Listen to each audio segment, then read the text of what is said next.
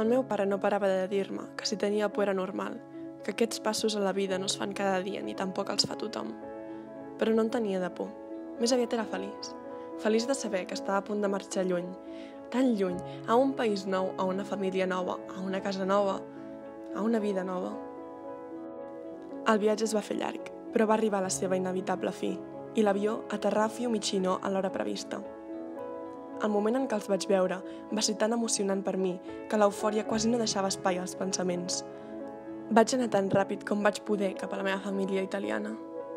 Quan comences un nou capítol a la teva vida, on tot és nou i tens per davant un abisme de coneixements i costums per aprendre i fer teus, el temps passa d'una manera peculiar, essent capaç de donar-te la sensació que un dia sigui infinit i efímer a la vegada.